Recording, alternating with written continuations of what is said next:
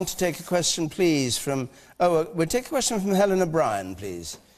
Is spying on our allies ever acceptable? This is in the light of uh, Angela Merkel's complaint to President Obama that she was being spied on. And uh, it turns out now that 35, I'm told, according to tomorrow's Guardian, 35 heads of state are being spied on by the Americans. Is it acceptable, Caroline Flint? No, I, I, don't think it's acceptable to uh, use surveillance in a way which is spying on people who are our allies, who work with us through international organisations, both on defence and on other matters as well. I, I don't think it's acceptable. Why did Labour spy on the G20 participants then in the conference in 20, well, 2009? Well, I'm just saying, I think where, unless there is a threat uh, to our security, I think you have to have a rationale for this. And I don't think sort of just fishing trips for spying in that way is the right thing to do. And our security services, let me say, do a fantastic job for us. Uh, in all sorts of ways to help keep us safe. But there have to be rules within that and how they operate. And next week, for the first time, uh, the heads of MI5, MI6 and GCHQ are going to give public evidence to the Intelligence Committee at the House of Commons. But there have to be rules around this. Um, and I think it's quite right that Angela Merkel is aggrieved at what she's found what out. What do you think they were trying to find out? That's a good question because the whole rationale for spying, which I think lots of us, security services, which few would quibble, is to protect our security, stop us being blown up on buses. I think last time I checked, Angela Merkel wasn't likely to exactly. sign up to international terrorism. Neither was, for example, the Mexican president, who was also apparently spied on, and apparently that was actually for industrial uh, espionage, effectively. It was the US spying on them for those reasons. I think there needs to be a wider debate about this, and actually I think it's welcome the likes of Edward Snowden, Chelsea Manning, who I think are genuine American heroes, because what they've done they've done is they've shone a light on the dark recesses of power, how extensive this spying is. They've revealed secrets like the fact, for example, some of the outrageous things that have happened in Iraq uh, because of the American occupation. The results, for example, of drone attacks in Pakistan, which are increasing the risk of terrorism, not reducing it. And instead, what we should be doing is instead of having this spying on, on allies, on ordinary people as well, who are law-abiding people going about their own business. We should make sure the security services are accountable, that they don't have this argument, they're protecting our liberty, therefore they can do exactly what they oh. want, and we actually have an accountable security service, and we actually have freedom of information to know exactly okay. the sorts of things they're doing in well, our... We... All right, all right. Peter Hitchens. Question was, is spying on our allies ever acceptable? Well, the first problem is that our allies today might be our enemies tomorrow. And also that people, people who appear to be our allies might be our rivals. I think you'll find that an awful lot of intelligence work is commercial mm, yeah. and industrial, not military. And I think that that's where much of it is concentrated. If you don't want to, your country to have that kind of information, then of course you can take a moral decision and say we're not going to do it. But what do they want to know about Angela Merkel? I don't know what they want to know about. I, what about, would you want I, to know I, about What would I, actually, there's almost nothing I want to know about Angela Merkel, except how on earth it was that her family came to move to East Germany, which has always puzzled me, but, um, when everybody else is trying to get out. But, but leaving that aside, only her tapping her telephone is going to discover that. Um, I, I think it's it's much more worrying that not that, that politicians, who ought, I think, reasonably to assume that somebody is probably trying to tap their telephones all the time anyway, mm. uh, not that politicians are having their telephones tapped, but that ordinary uh, citizens are having their telephones tapped and their emails registered and read by people who have no business doing so. That does outrage me. OK. Man in the check shirt there. Yeah, when the journalists were found to have hacked into the phones of politicians like John Prescott, they were hung, drawn and quartered regulation was bandied round, everybody went to town on them. I agree that what they did was completely wrong and it was overreaching to the nth degree. But why should we feel any different when politicians are the victims than when the general public are the victims and it's the politicians who are actually initiating it? If, if Thank you. Liz, do you think the politicians are, initiating in the sense that he means, agreeing to it?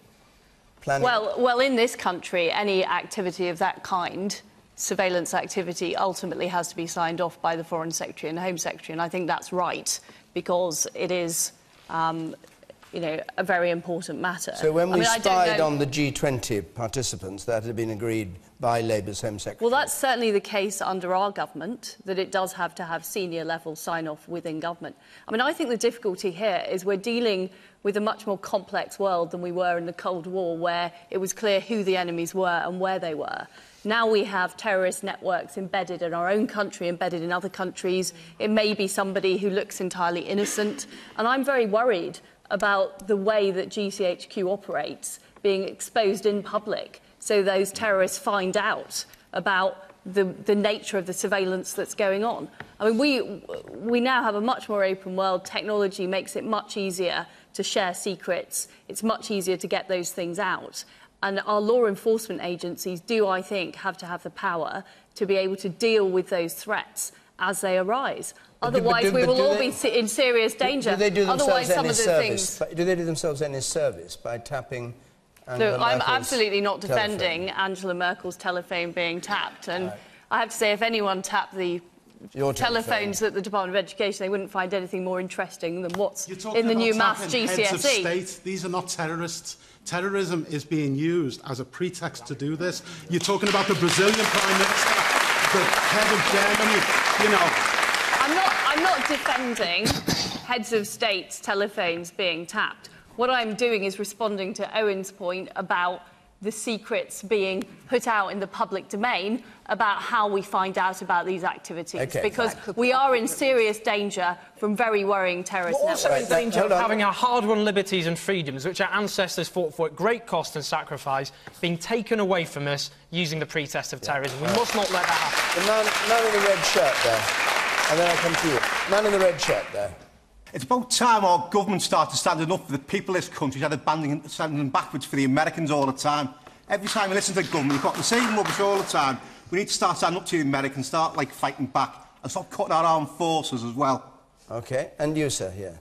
To expand on what the gentleman said up there, I'm quite worried about how long until the EU countries start pointing the finger at us. It's been known for a while that GCHQ has a close working relationship with the NSA, so we don't know how far they're going. I mean, it's in all likelihood this is happening. Tim Farron? Yeah, I mean, I, I, mean, I don't know why Angela Merkel uh, moved to East Germany. Maybe she's a, uh, another, it was parents. another, another, another former communist who moved to the right. I it don't was- know. Um, but, but, the, the, the, the, but the point is, this was not just intelligence gathering. This is tapping the phone of a friendly head of state. Now, let's just ignore for a moment, and I'll come to the civil liberties issue in a minute. How utterly stupid is that? And whatever gain the US thought they might get from this was always going to be completely outweighed by the damage it has done to the diplomatic relations between two very, very important countries. The post-war effort through the European Union, through NATO, the United Nations, G8, G20 more recently, in bringing countries together, sharing interests to make sure that we don't go to war again, is undermined by stupid, reckless decisions like this. And it forms part of a culture that runs through certainly the US administration and has run through the administration before this one in this country, where we think people's civil liberties are not as important as whatever the agenda of the political leaders of the day happen to be. I'll take, I'll take a couple more points and then we'll go to another question. The man in spectacles there. I think when you get into the realm of uh, spying, um, I think I think we're fooling ourselves that we think this is the first time that allies have spied on allies. I'm pretty sure that the British spied on the Americans before they came into the Second World War. Uh, I can't quote anything or clarify that, but I just think once you get into the realms of sort of spying, well, yeah, um, it's just spies will be spies, and that is not to that is not to kind of give an excuse to them. But I'm just saying once you get into that, you know, they've got all this technology. I think they've been greedy. They're spoilt for choice, and they've tapped Angela Merkel's phone because they can simply, you know. And this is going to fall, fall back on them. It's going to blow back on them now. Okay. And the man in the check shirt there with the black. Uh, I think any time you sacrifice liberty for security, it's a recipe for disaster, flat out. Any, anytime you sacrifice what, sorry? Liberty for security. yeah. And like the other people were saying with the spying going on, it's just been going on for years, and it, the only difference is now that you're telling us about it.